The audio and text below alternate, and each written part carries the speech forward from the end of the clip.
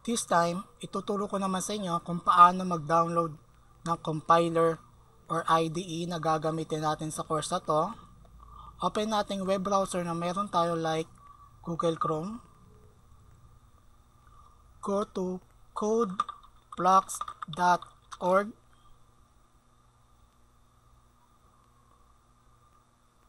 As of today, ganito yung itsura ng homepage ni Codeblocks. Possible in the future, iba na rin yung makikita ninyo. Depende kung kailan nyo papanoorin ng video na to. Ang importante lamang dito ay makita natin yung downloads link like this one or this one. So let's proceed. Click downloads. Then look for with binary release And we have several versions ng code blocks para sa different operating system like for Windows, Linux, and for Mac OS. Most of us ay naka-Windows like me. So focus tayo kay Windows. Ang hanapin po natin ay yung merong with min W meron tayo dito dalawa.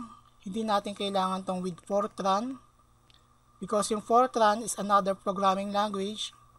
We're focusing sa C lamang. So, explain ko yung dalawang to. Itong setup.exe, ito yung installer which means yung install mo pa siya sa computer mo. And itong no setup .zip ito yung portable version which means you can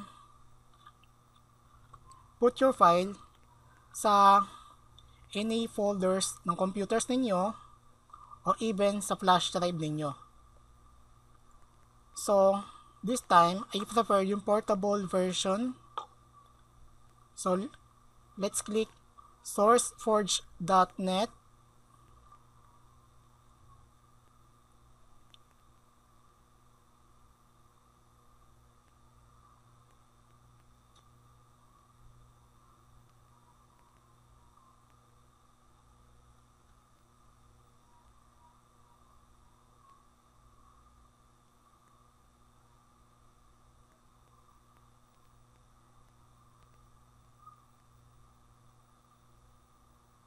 Ngayon, nagda-download na yung IDE natin.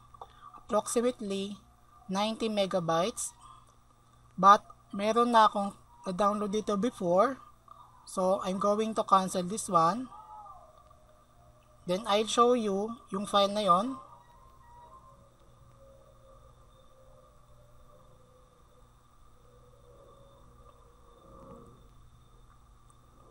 Ito na yung file na yon approximately 90 megabytes.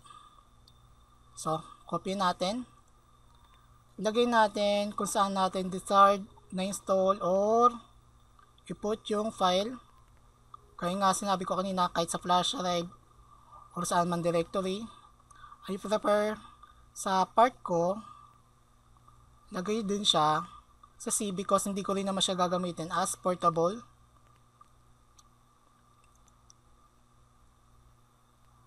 And ito, isa siyang compressed file. So, let's try to extract this one.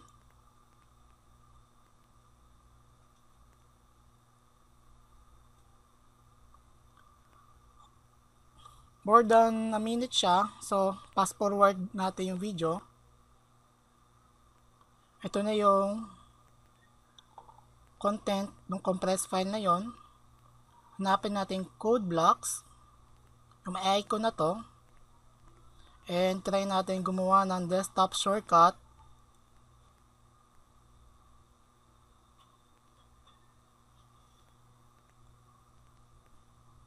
So meron na tayong desktop shortcut.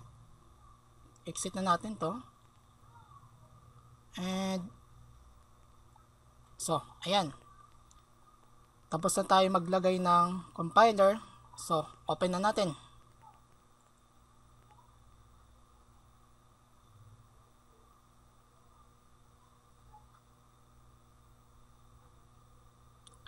Click OK. Dito, meron tayong settings para sa, sa computer natin. Itong no, no, no, no, yes, yes.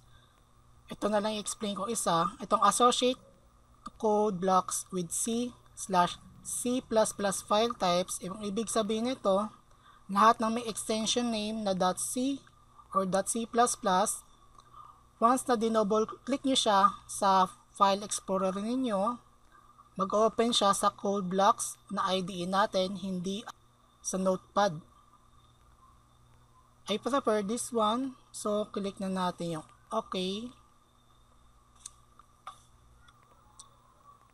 Dito, meron tayong menu bar, title bar, and meron din tayo ditong project explorer. At dito tayo magko-code. So, gawa na tayo na ating source file. Click file, new, empty file. But I prefer na i-save ko muna yung file na to before I start to code. Click file, save file as, and pwede na siya ilagay sa directory depende kung saan nyo gusto. Ilalagay ko siya sa drive D ko because wala siya sa operating system just in case na mag-fail yung OS ko marirecover ko pa yung file ko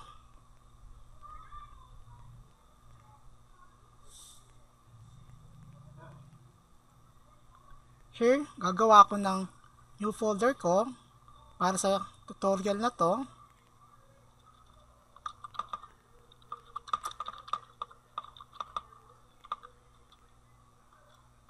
And let's name this file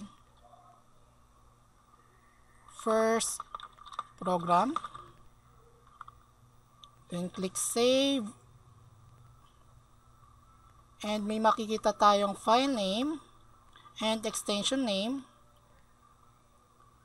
tignan natin yung sinave nating file using file explorer using file explorer na meron tayo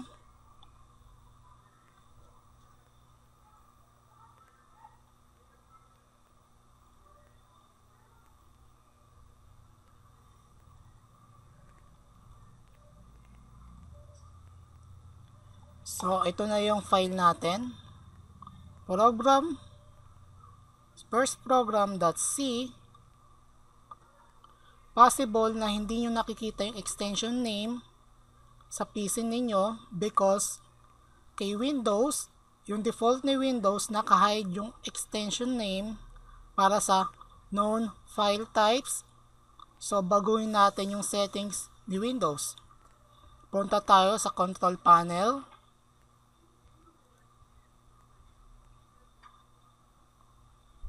Appearance and personalization, file explorer options,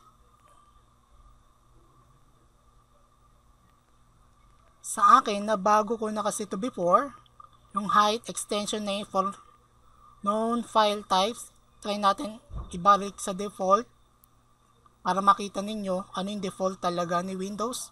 Click apply and okay. So makikita ninyo dito na wala yung extension name ko because sabi nga ni Windows i-hide niya yung known file types but hindi natin prefer yon sa part ng pagiging programmer.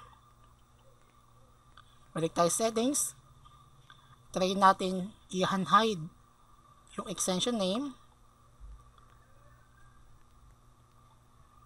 uncheck this one. Click apply. And okay. So meron na tayong file. Try na natin bumalik sa ating source code. Try na natin gumawa ng source code. And sharp include. By the way In this video, hindi ko muna explain yung source code na to. Sa next video, explain ko lahat-lahat ang purpose lang ng video na to ay i-demonstrate how to use this compiler or. IDE.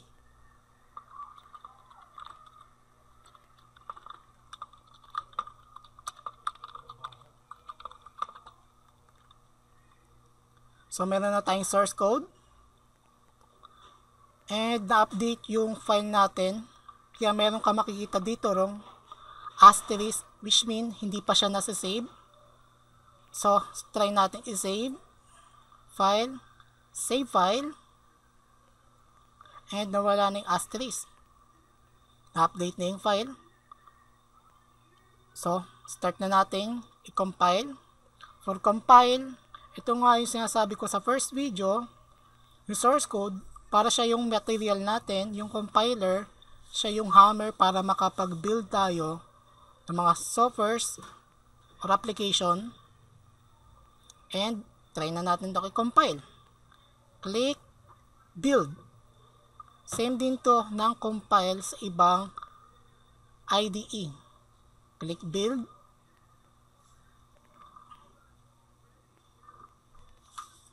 And nag-build na yon. So, try natin sa File Explorer kung nakagawa na siya ng executable file niya.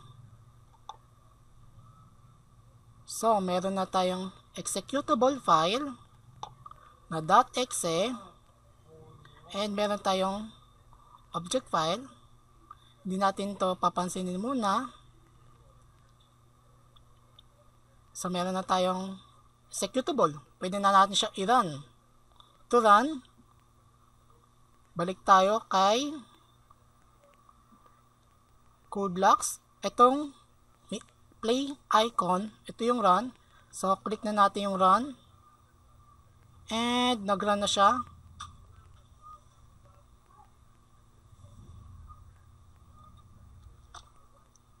Pwede din natin siyang i-run sa file explorer natin balik ulit tayo sa file explorer and double click first program nag-run siya pero nag-exit agad because explain ko siya in the next video so meron pa tayong shortcut para sa compile and run. Balik ulit tayo kay code blocks. Dito meron tayong makikitang build and run. Ibig sabihin nito, ibibuild niya yung source code mo and if without errors, ira-run din niya yon at the same time. So, click natin yung build and run. And, okay na ulit siya. So, dito na tapos yung second video natin. In the next video, explain ko yung source code na to and how to use printf functions in C programming. So, see you in the next video. Bye-bye.